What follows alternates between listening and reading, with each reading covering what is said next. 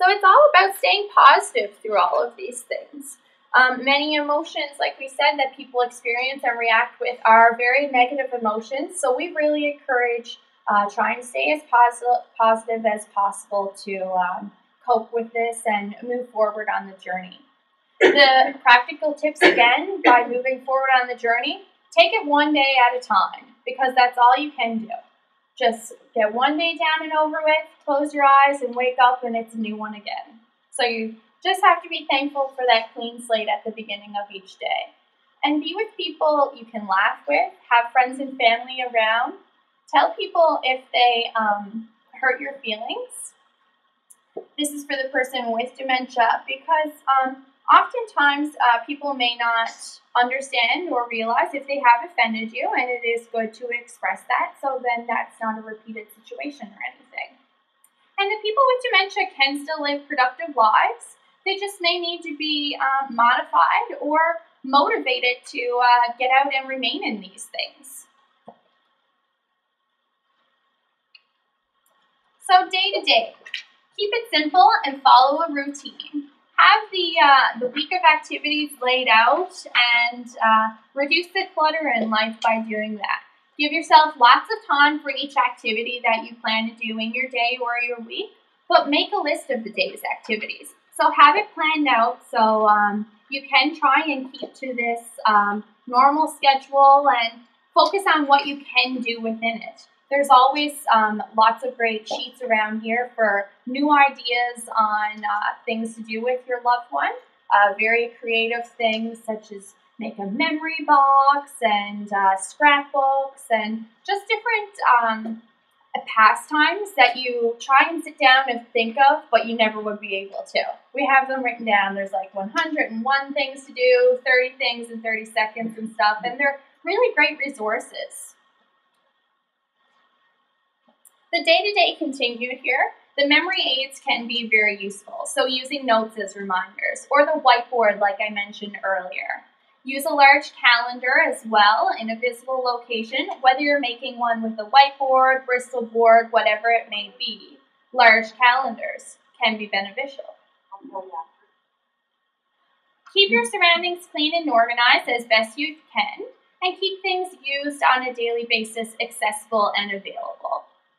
So um, that's a very uh, a good point there to keep it accessible and available. if uh, your individual, uh, the person with dementia, is using these things on a regular basis, then it's good to have them out in plain view so they know that it's right there to grab and they don't have to be worrying about trying to find it or locate it. So the independence vow is a, uh, a really nice piece that I like to share, and it's for um, the person um, with the disease or um, who's been diagnosed with dementia. And it says, I have an illness that causes memory loss and confusion. I like to be independent, but I may need your help and understanding. You can help me by knowing unusual behaviors due to my illness, asking me what you can do to assist me, and treating me with patience and dignity. So it is always vital to remember to treat this individual with dignity and respect. And then the companion vow. So my companion has an illness which caused memory loss and confusion. Please understand any unusual behavior and treat my companion with patience and dignity. So these are um, both really nice vows here that um, individuals and their um, companion can use to express their um, their feelings around the disease and uh, the memory loss and the confusion and, and how they want to be treated on this journey. So you really have to remember to live one day at a time and take it as it comes and realize that there are going to be those good ones and those not as good ones. But it is a, a one day at a time process, and you can only try and do as much as you can in uh, 24 hours as possible.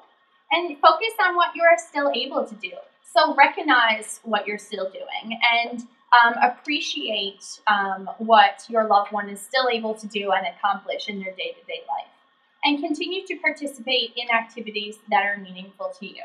Just because of the diagnosis doesn't mean that you need to give up something that you love.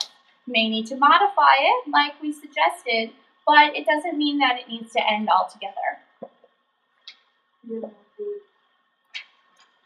So, some more coping strategies for our caregivers. It's incredibly important to make sure that you take time for yourself to avoid um, burnout and things like that.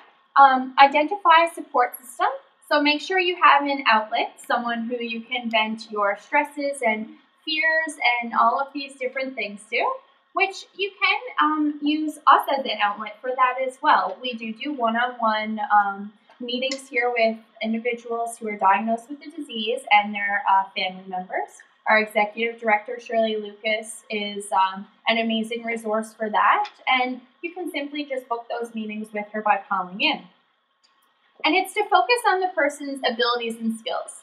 So, despite the loss of abilities, which can be um, very upsetting, it's still um, the feelings and emotions still remain, and it will help the person maintain a sense of self if you focus on those abilities and skills and react to those positively and really encourage them to still participate in what they can.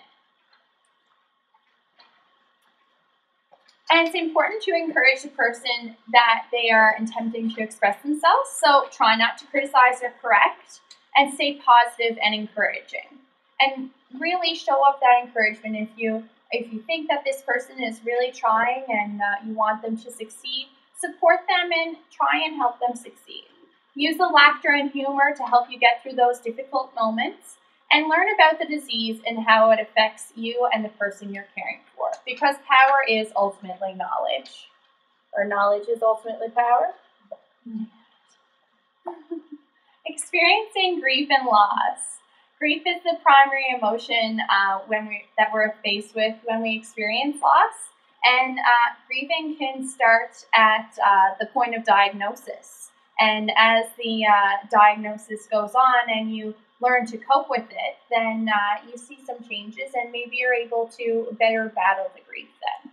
But grief can be experienced at all stages of the journey, like I said, and um, it's often um, the most difficult um, kinds of grief with Alzheimer's disease because you see um, a, a decline in your loved one before there is um, the the loss that you experience from losing their memory and watching their memory from loss is a, a different form of grief than anyone else will experience, and it's um, it's good to um, when we experience loss. Um, this is sorry, this is what I was trying to get into here. When the person loses a specific ability, you have watched this person knit. This is Nan who's knit her whole life, and she knits me socks every Christmas.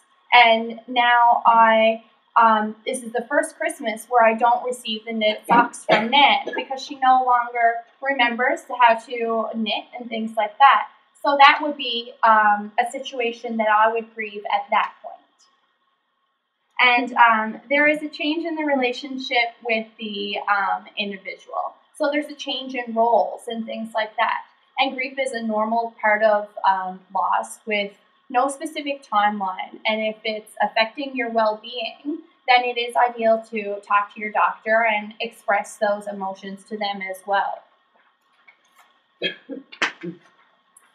So it took me a little bit to get that last example out there, it seems, mm-hmm. but uh, the knitting seemed like a good, good one for that because I know I would definitely miss out on my nan's knitting. But thank you all for uh, listening to me there today, and uh, I hope that you were able to take a bit away on uh, communication and coping strategies. And I would love to um, open up the floor now. If you guys had any questions or concerns or anything like that that you would like to uh, address or talk about?